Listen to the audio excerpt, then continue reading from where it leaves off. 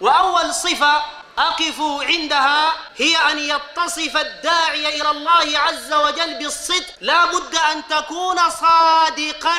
داعي كذاب ده ما بينفع. زول بيكذب ما بينفع. تلقى واحد راكب المنبر وشغال وقال الله تبارك وتعالى يديك في الآيات وأخرج البخاري ومسلم. يلف جاي يكذب. العوام يقول لك يا زول ده زولكم ده الزول اللي بيقول اتقوا الله.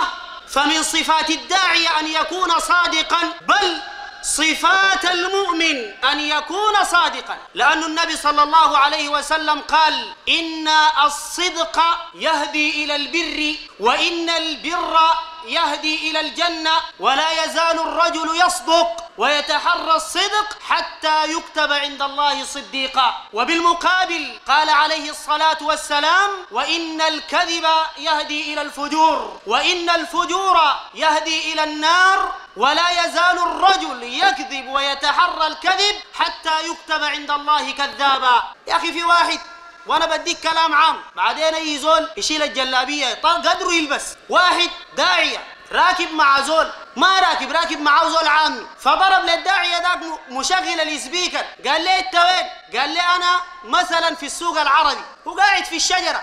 العربية لفت لقوا واقف هذا يقبلوا منه دعوة كيف؟ عشان كده كونك تكون داعية لابد أن تكون صادقا. تكون صادق. داعية أنت كمسلم لابد تكون صادق واضح. الكذب لزومه شنو؟